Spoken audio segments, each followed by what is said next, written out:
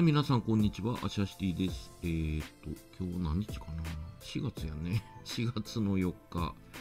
おかまの日やね、今日。4月の4日。3月3日が女の子のお祭り。5月5日が男の子の端午の節句。4月4日はおかまの日ってなってますけど。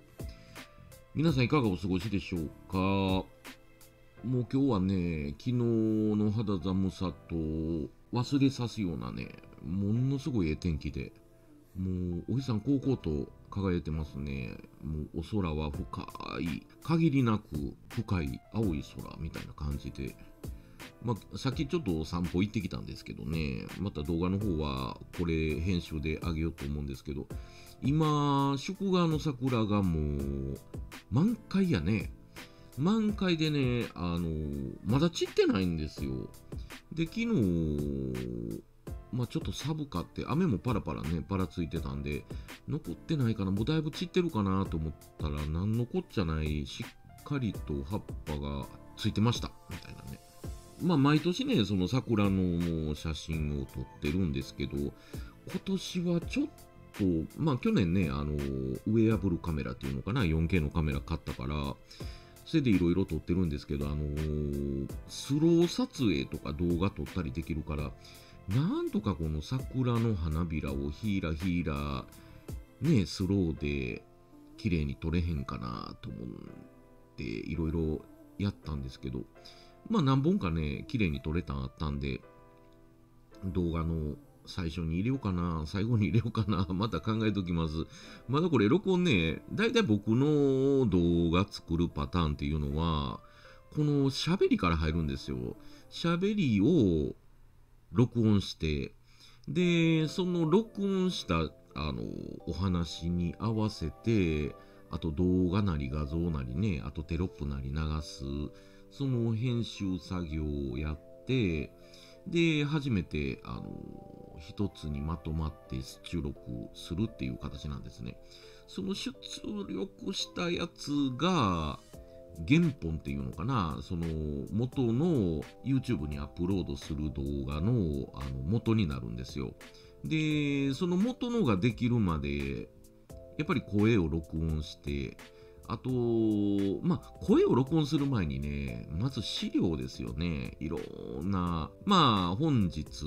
からは笹川良一氏のお話をさせてもらうんですけども、その資料が莫大な量になる時にあって、ほんで、それを今度ね、いるもん、いらないもん、これは話そう、これは恥こうとか、そういうのをやってるうちに、まあ30分1時間もあっという間に経っちゃって、どんどんどんどんね、あの、動画の作る時間が長くなるみたいな。で、最終的には、その動画出力したのをもう一度自分で見ながら文字の間違いないかとかね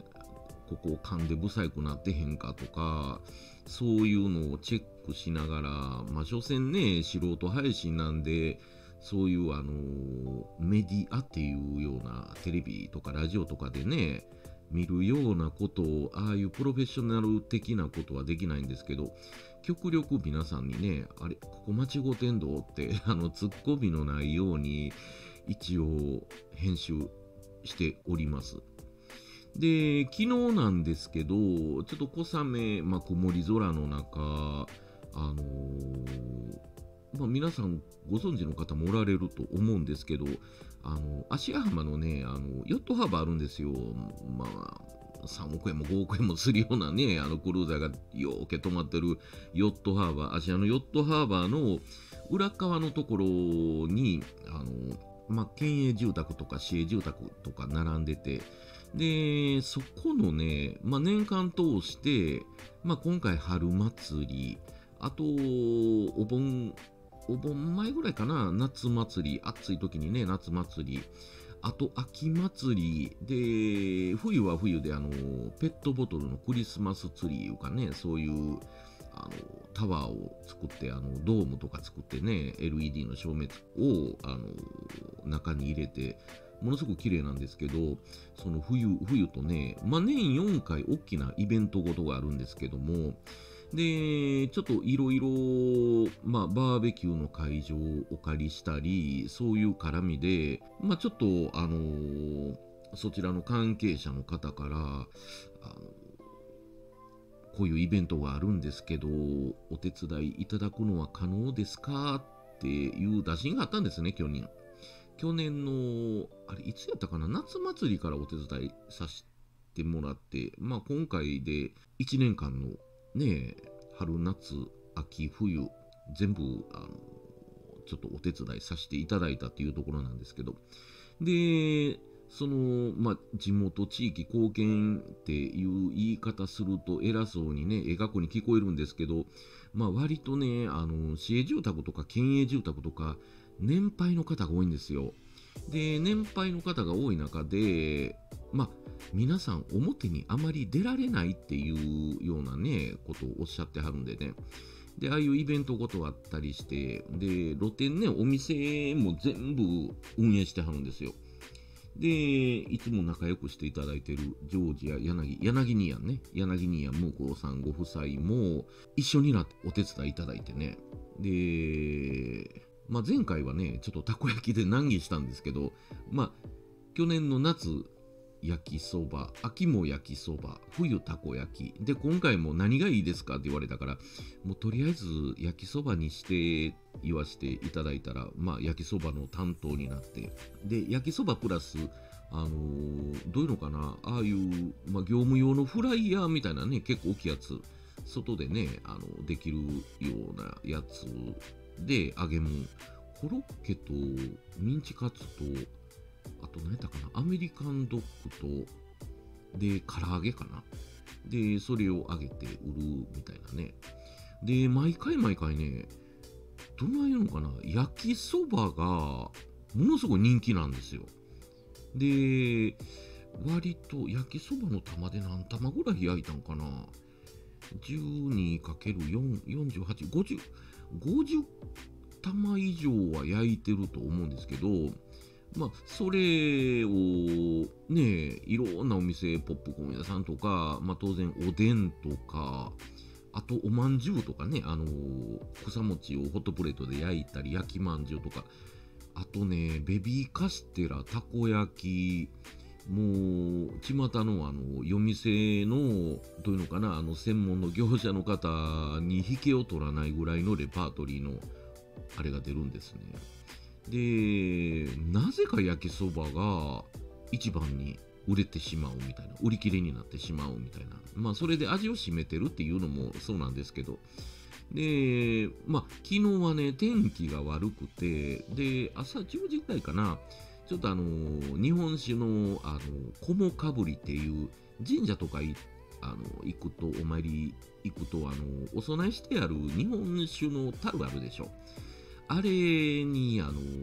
いろんな飾り付けをして、おみこしを作ってはるんですね。地元の。まあ、あの、味のある、どういうのかな、手作りのね、あったかいおみこし。それを、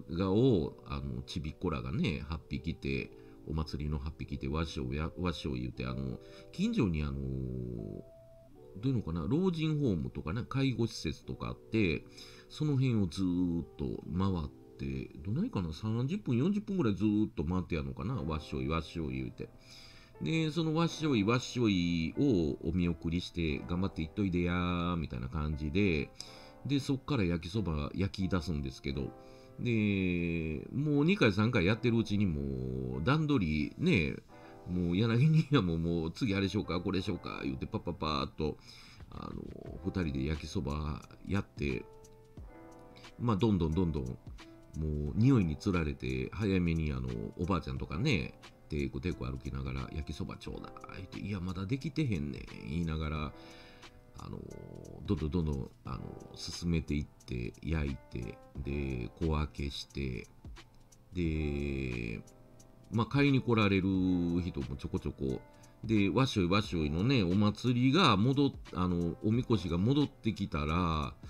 なぜかねピークが来るんですよ。バーっと。やっぱりちびっ子たちもお腹すくんやろね。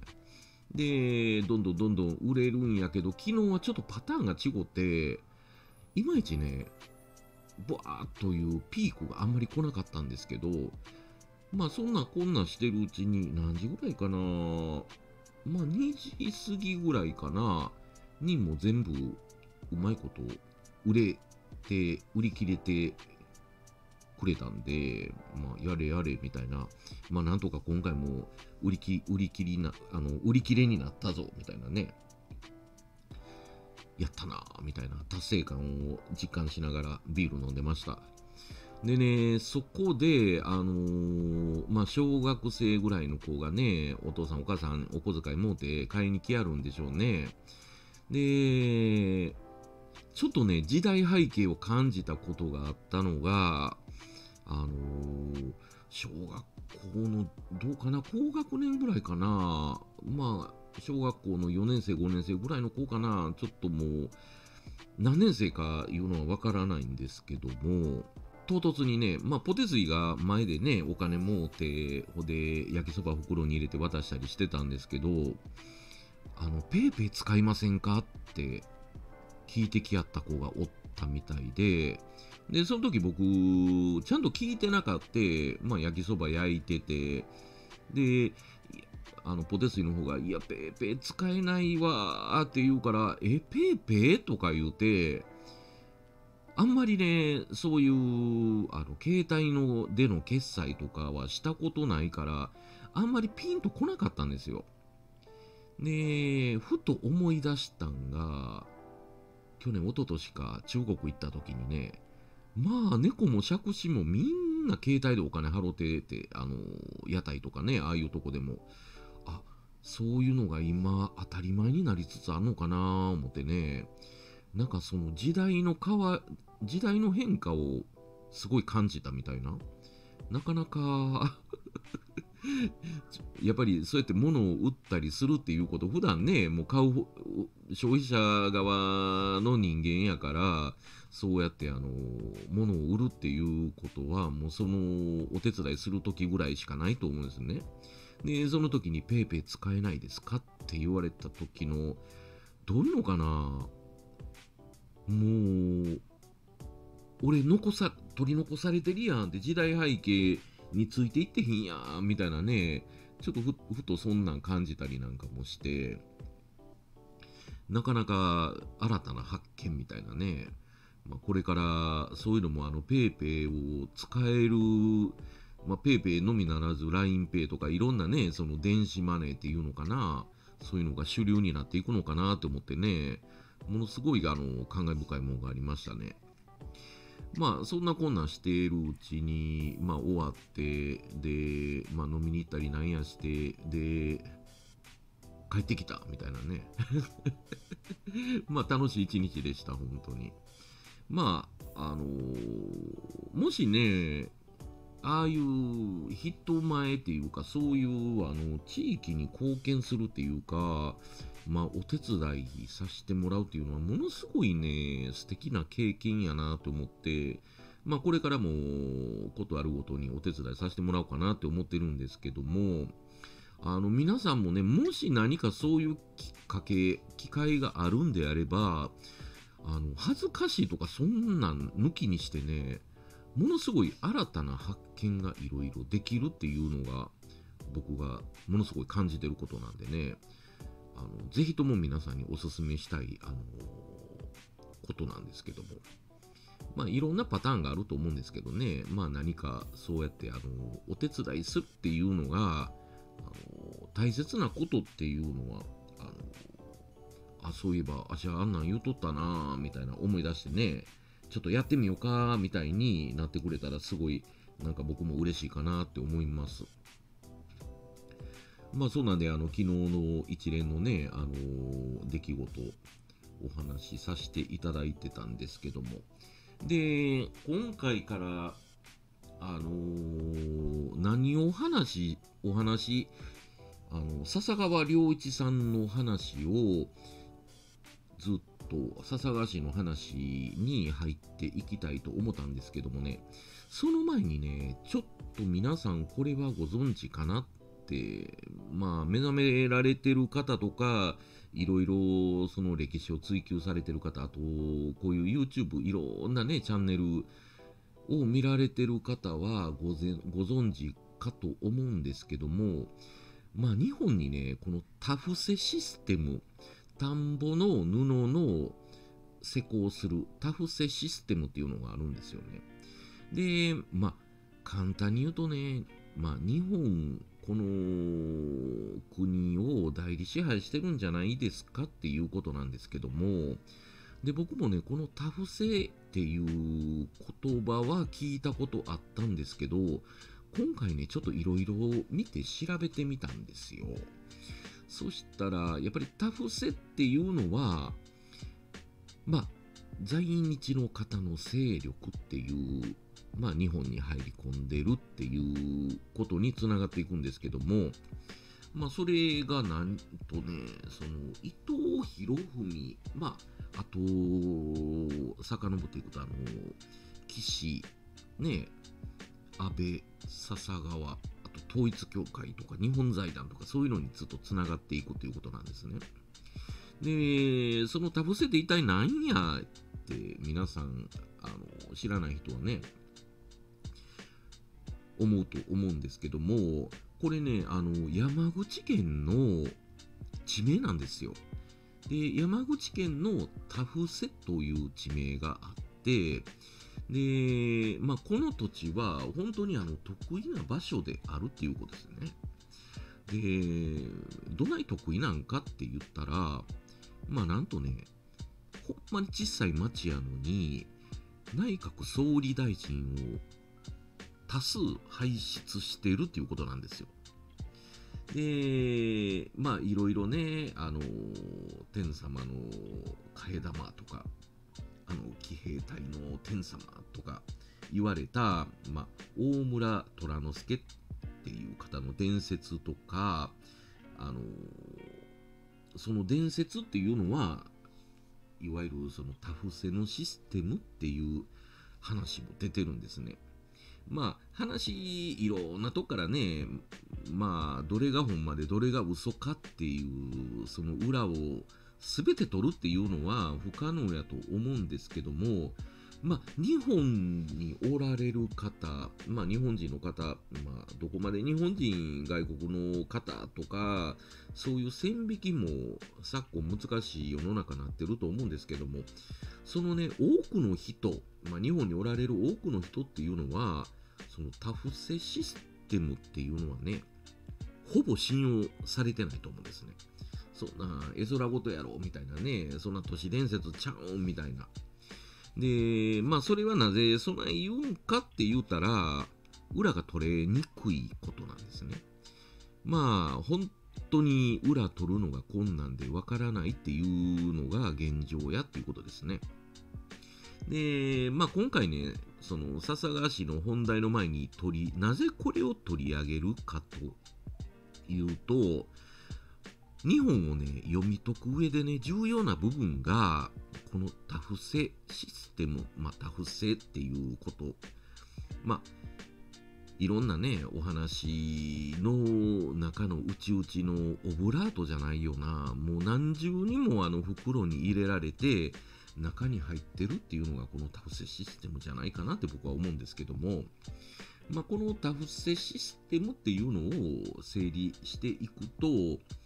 まあ事実関係からいくと、あの山口のそのタフセっていうところなんですけど、まあ、昔から地元ではね、その朝鮮部落として知られてるんですね。で、まあ、そのタフセだけが朝鮮部落かっていうとそうじゃないですね。まあ、現状大阪もあるし、東京もあるし、日本各地にその部落っていうのがあるっていうのも事実なんですよ。で、その部落っていう言葉をあえて今、あじゃあその差別用語ちゃうんかって言うかもわかんないんですけど、はっきり言うと、部落っていうのは差別用語じゃないと僕は認識してるんで、改めてあの再度ここで申し上げます。で、奈良のね、平安時代の頃から、その瀬戸内海の沿岸ね、まあ、朝鮮半島から渡ってきた人たちが、ものすごいね、多数移り住んできた土地なんですね。で、まあ、彼らの集落があっても全然おかしい珍しいことじゃないっていうことですね。で歴史を紐解いていくとその彼らは皆あの投稿、まあ、陶芸する人であったりねあと刀鍛冶であったり特殊能力を持った職人の集団として活躍してたんですね。で、ここのところをちょっと無理やりリンクさせてしまうと、その自由なそうめん、まあ、石工職人みたいな、そういうのと僕はダブってしまうっていうところがあるんですけども。なのでね、彼らは自らの出自を恥じてはないん恥じることもないしね、まあ、地名やその仮名、家の名にね、半島の名残を示す名前や縁なもん、縁みたいなもんを残してるんですね。で、実際のところ戦国武将の旗氏ね、これあの日中同祖論でずーっとお話しさせていただいてたんですけど、まあ途中アホらしなってね、この国一体何やねん思って、まあ日本が全部乗っ取られてるんじゃないかなっていうような話に、まあアホらしなって何が日中同祖論じゃこのボケみたいな感じでもう配信やめたんですよ、正直なとこ。で、ここでまたそういうのが出てきたみたいなね。で、この旗氏は、百済の王族、この弓月君やったかな？湯月君やったかな？これの祖先だと言われているっていうことなんですね。で、日本書紀にも、この弓月君が、百済から日本に渡ってきたという記述があるっていうことで、で、なんとね、この100に住むって書いて百済。百済ね、これ日本の地名で、何箇所か百済っていうとこあるんですよ。あの、大阪に百済駅ってありありますからね。あれ、駒田町のとこやったかな。でこういう、あのー、まあ、朝鮮半島の地名、百済とか、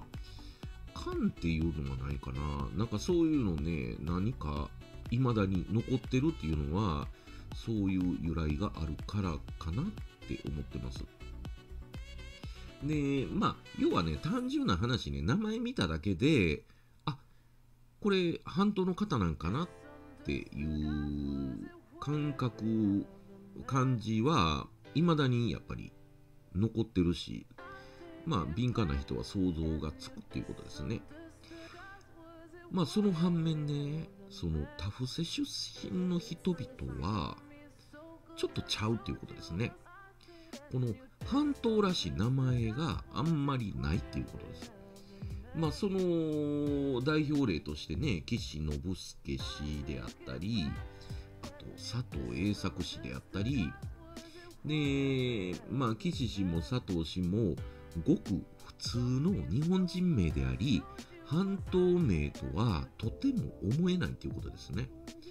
で、実はね、タフセの謎、不思議さは、この佐藤氏とか岸氏とか、そういうここにあるっていうことです。で、まあ、タフセのシステムもね、興味深い内容やけど、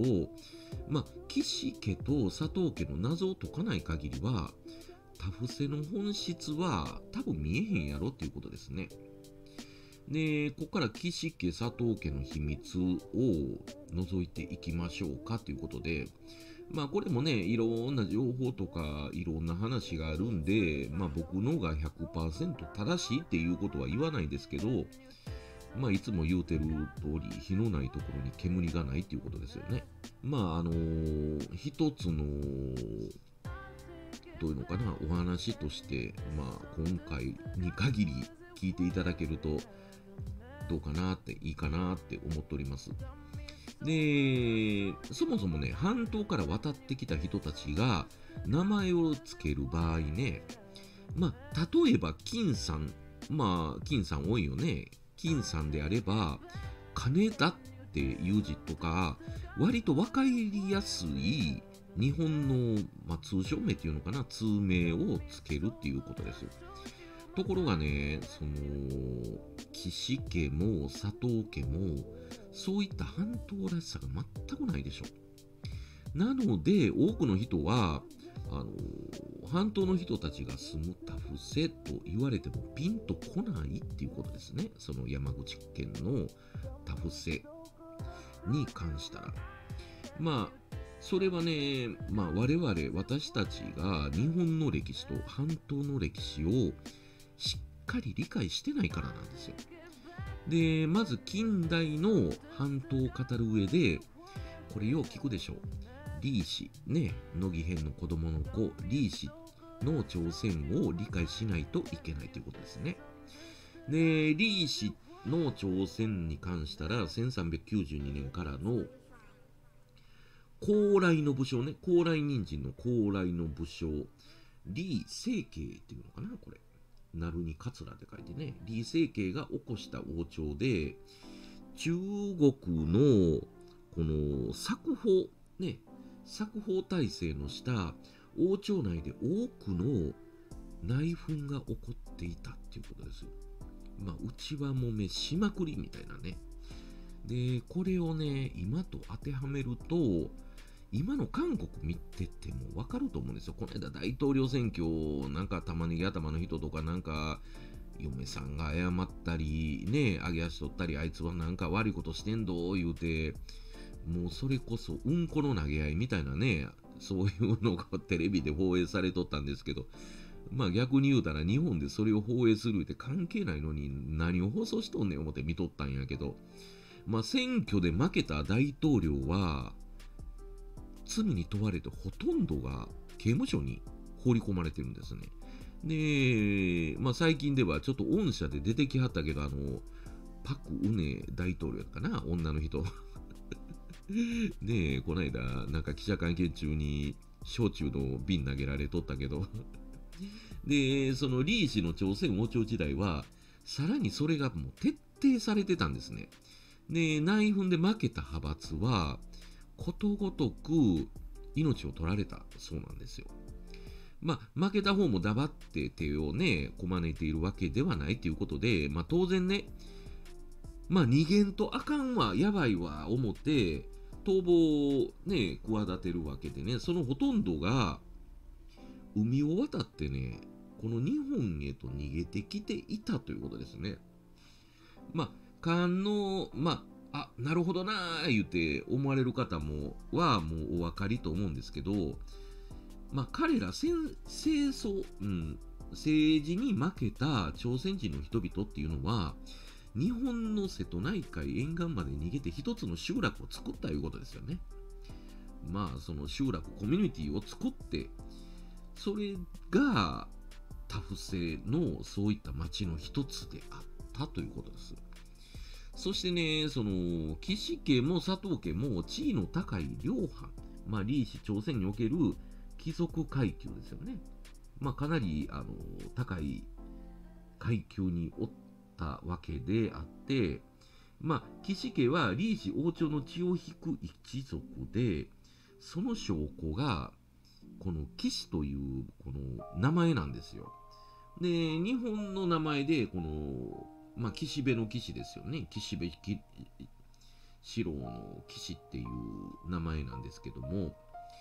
それが李王朝、李氏の何が関係しているのかっていうことですね。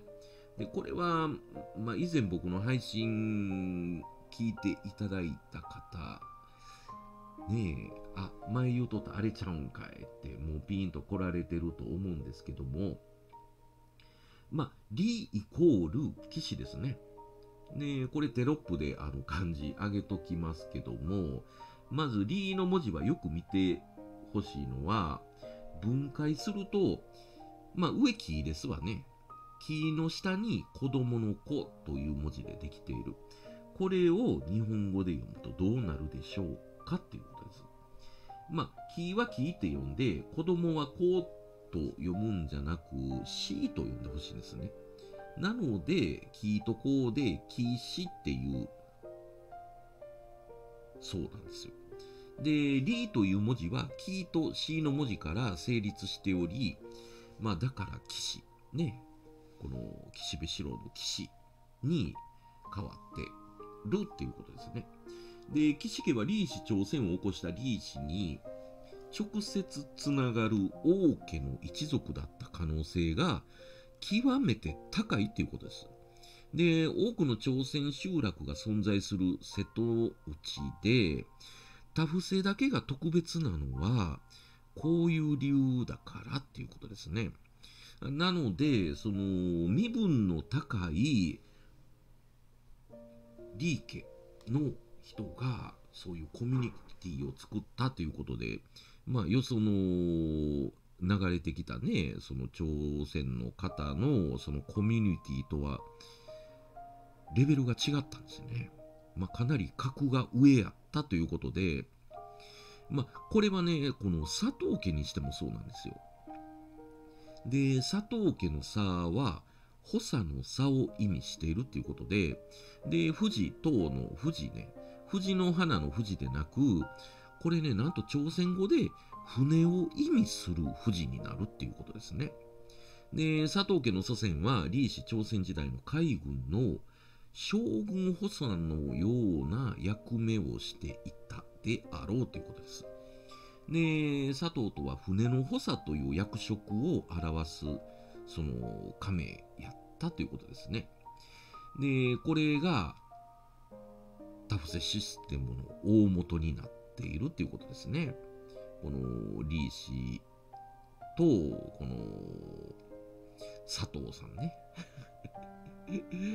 まあ、あの、いろんな話がある中で、まあ一応これね、僕調べた中で出てきたことなんで、まあ一つの、こういうケースもあるんちゃうかなっていうような感じでちょっと聞いていただいたら非常に助かります。これがね、100%合うてるとは僕一切言わないですから、で、あと朝鮮とね、明治維新のつながりっていうことで、この岸家も佐藤家もタフセという町も、李氏王朝の血を引くとても由緒正しい人であったということですね。ただそれはね、朝鮮から見た場合であり、そりゃそうですわね、朝鮮から来た人で、あれ、あそこ山口県のタフ、あそこの我々と血が、同じ血が流れてる部落、あそこで李氏の血筋の人がおるみたいなね、ものすごい、あのー、そうやって思うのは当たり前のことやねんけど、まあ逆に日本で住んでる 日本人にしたら話ちゃうやんみたいなね、話変わってくるね。で、タフセからは伊藤博文、木戸光一が出ており、さらに山口県そのものが、かつての長州藩ね。まあこれ正確にはね、この萩藩、萩藩っていう言われてるんですね。で、明治維新を薩摩藩とともにこの推進した土地っていうことで、まあ、さらにね、鹿児島にもタフセという町名が最近まで残っとったんですよ。で、なんとね、そこの出身者として、ズ一郎元首相が いるんですね。これもうなんか聞いとったらね、ええー、みたいな、これもう初めて見た時にびっくりしてね、まあ知ってる方もおられると思うんやけど、僕あんまりこっちの方探ったことないから、で、かつての肥後藩である佐賀県にも字は違うんやけど、このタフセという土地があるんですよ、土地が。で、まあ関係あるかないかはわかんないんですけど、大阪、東大阪の方かな、大阪。布施っていう地名があるんですね。もうターはついてないんやけど、その布施駅っていうあの近鉄沿線の駅がありますね。まあ、維新を引っ張った薩長のうちの3つに、田伏という名が絡んでいるっていうことですね。まあ、あの、維新後にね、薩摩藩で最も出世した大久保利通ね、これを方、鹿児島市高麗町の出身。高麗町、ね、高麗人参。まあ、俗に言う朝鮮人参、高麗ですよね。ね高麗という名が示すように、大久保は朝鮮系の人である可能性が高く、少なくとも、大久保利通が生まれた土地は、なんとね、朝鮮集落やったんですよね。で、維新を引っ張った薩摩の志士たちもほとんどが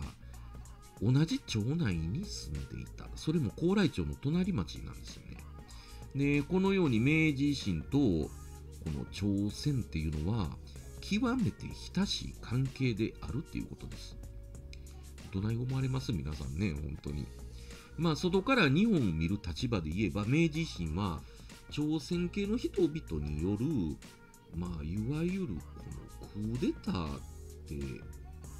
捉えられるんじゃないかなって思うんですけども、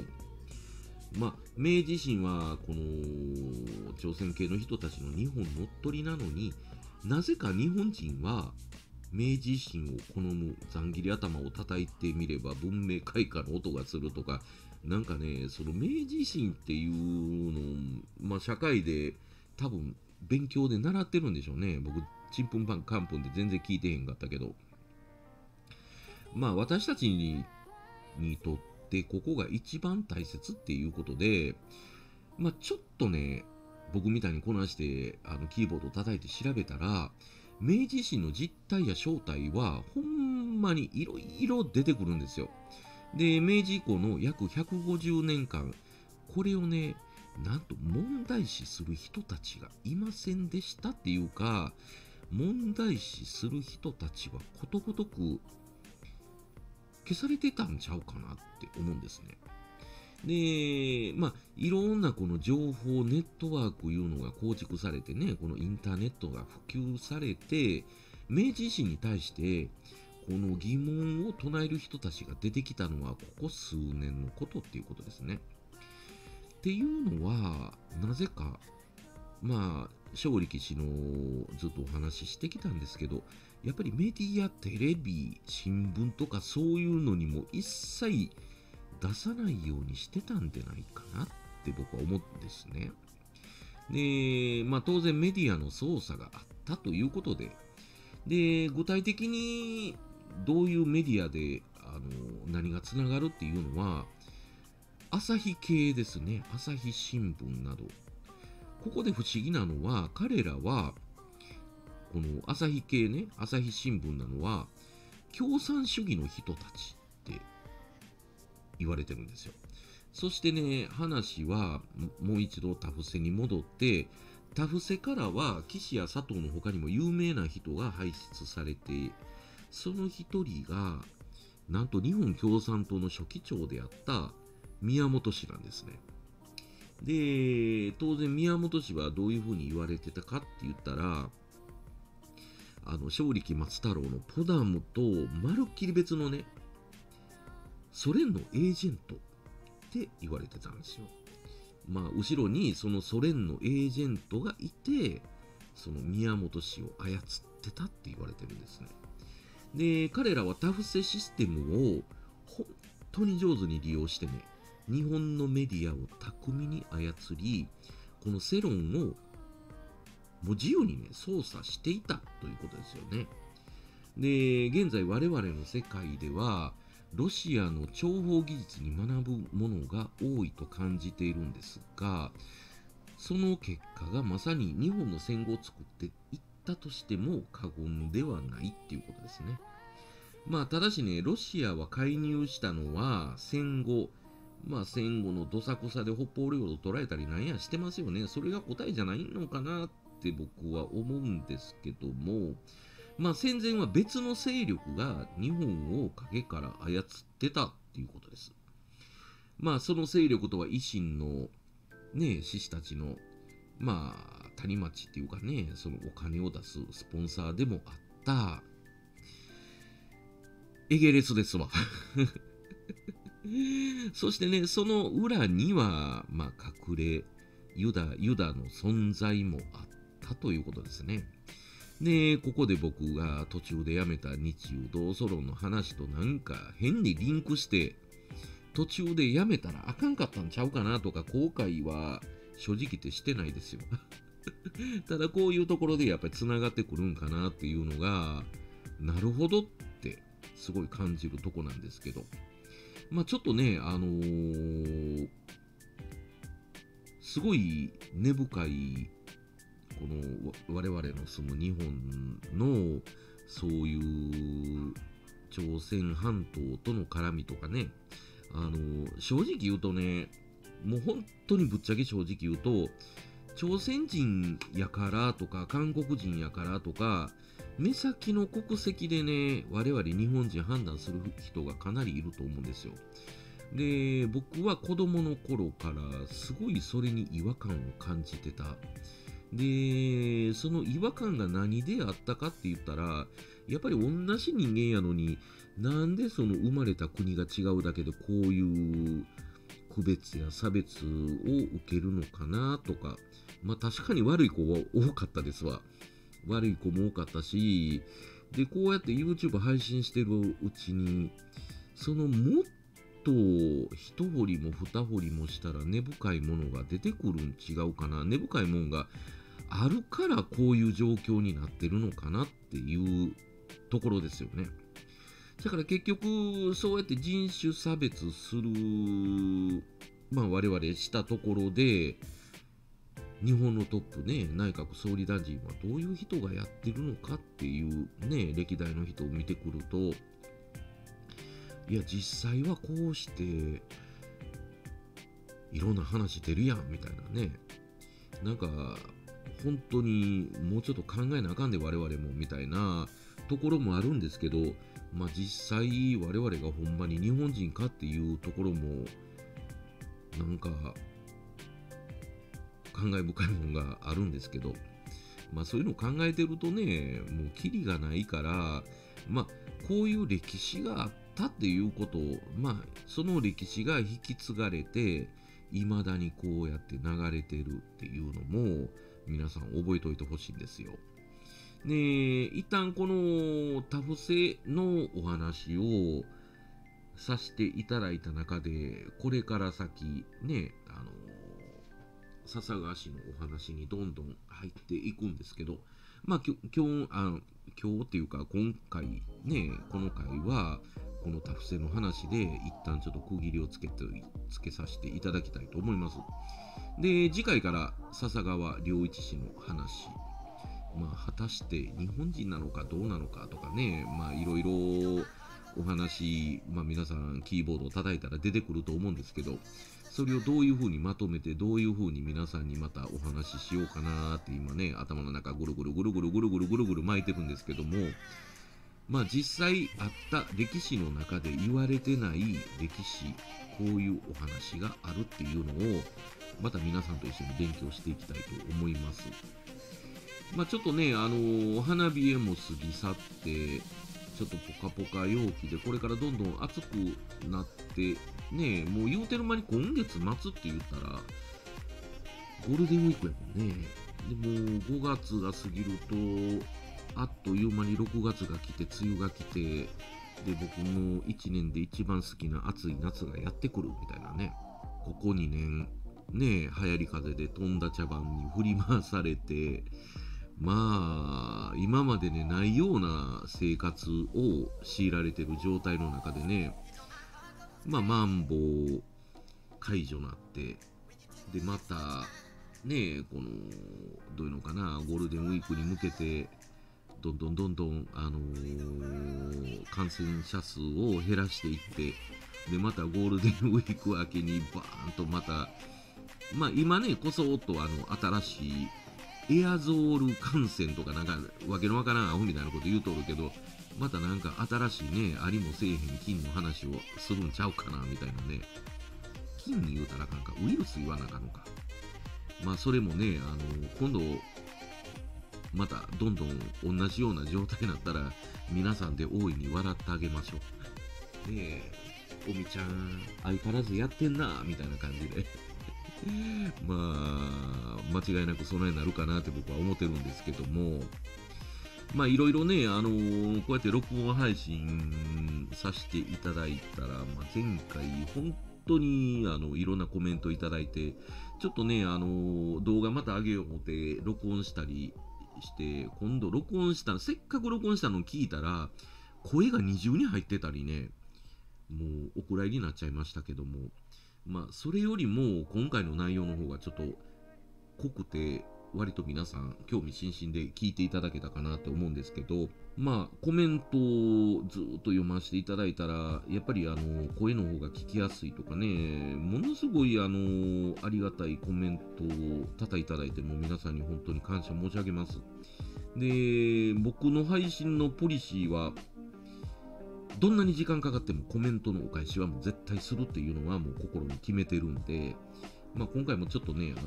ー 遅くなって今日コメントをお返しさせていただいたんですけど、また皆さんもね、いろんな意見とかコメントお待ちしてますんで、よろしくお願いします。まあ、そんな感じで、どんだけ喋ったんかな、今日は。全然時計も見てないからわかんないんですけど、最後まであの聞いていただいてありがとうございました。ご視聴感謝いたします。で、次の回から笹川良一氏のお話っていうことで、チャンネル版にならんように、ね、うまいことボーダーラインをさまよいながら配信の方していきますんで、またお付き合いの方よろしくお願いします。まあ、いつもながらですけどね、皆さんの健康と幸せをお祈りしてますんで、自分自身の健康もね、しっかりと あのー、体調管理しながら、日々生活していきます。まあ、また、あのー、近いうちにね、動画の方出しますんで、またご視聴の方よろしくお願いします。それではまた次回お会いしましょう。さよなら。